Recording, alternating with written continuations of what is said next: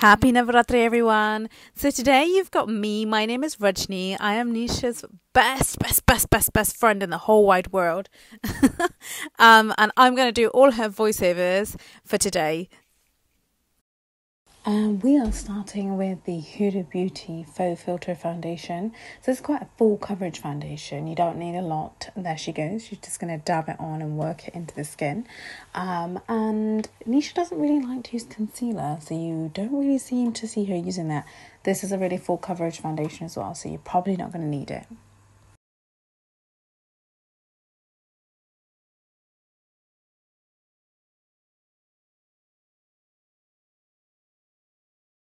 So here we've got the P. Louise base, and this is in shade 7. The staying power on this is absolutely amazing. If you haven't checked these out, please do check them out.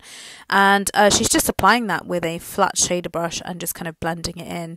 Um, she's taken another fluffy brush, and she's just kind of creating a little bit of a haze just in the crease, just underneath, um, and that will kind of just buff uh, through.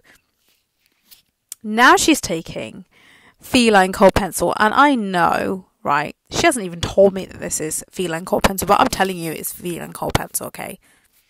Now she's taking Inglot. Now this is a brown eyeshadow and it's from the palette and she's just going to smudge that in just at the root of the lashes, getting all of the colour down close to the lashes and then just working it slightly up into the crease just to give a little bit more depth and definition to the eye and just sort of create a little bit of a halo eye there. And now she's going to take a big, big fluffy brush and she's just going to blend that all out. Now it's really important just to kind of blend those lines out, keeping everything looking really, really nice and really soft so that it's not harsh around any of the edges. She's taken gone back with that flat shader brush and back underneath with that dark brown. So Nisha's eyes are really chocolatey brown and they almost look quite wet. So any kind of look like this looks absolutely amazing. It's a little bit grungy, it's a little bit lived in, it's a little bit dirty. Who doesn't like a bit of dirt?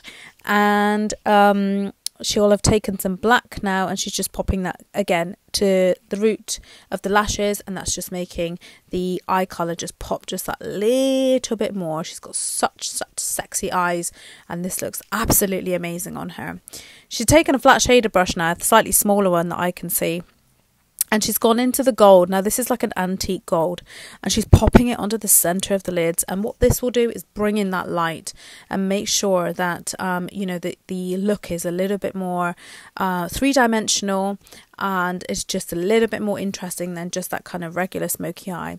Um, again, she's taken that flat, the sorry, the fluffy shader brush now, and she's just blending it out and popping that gold underneath repeating the same on the other eye. Now what I can see is she's actually taken a little bit of the brown eyeshadow and she's creating a bit more depth just into the outer corner of the eye and this is just going to help to um, re kind of establish that colour again because sometimes when you do blending work you can lose some of that colour. Now she's taking her favourite Illamasqua product for the brows. She's got amazing brows anyway. She doesn't need to do a lot of work like me, who has to get them microbladed and filled in all the time. So Nisha's just taking a angled brush from what I can see and she's just working that product through the brows, pulling it down towards the kind of tail of the brow. Oh, okay, she's doing mascara. Okay, colossal, sensational. Uh, this is Maybelline and she's going to put lots of this on. Yeah, that's actually how fast she does it in real life, like everything, not just mascara. Hee hee. Okay, she looks like she's about to murder someone here, but actually, what she's going to do is contour her cheeks. Um, so she's using, I think, what is a MAC sculpting sculpting powder, um, and again with a nice kind of um pointed sort of brush just to get into the into the cheekbone area. She's pulling it right up into the hairline. Again, that's a really good technique, just to make it really look soft and diffuse, so that it doesn't look like it's um over the top back down through the cheekbones. Yes, girl. And she's going in with highlighter. We all love a bit of highlighter. Get that highlighter on, babes. You've got to look like a disco ball by the end of it because if you don't look like a disco ball, I'm going to sort you out. Okay, and finally, it's time for lipstick. This is a Huda Beauty matte lipstick. This kind of looks like a little bit similar to the color of her jumper, actually, kind of like that pinky sort of brown mauve tone there. Um, and she's not actually applying it with any structure, she's just kind of stamping it into the lift to give almost like a bit of a stained, um, lived in look. Okay, who told you to burst out dancing? Yep, get that bindi on. That's right. And get the nathani on. Now watch it, guys.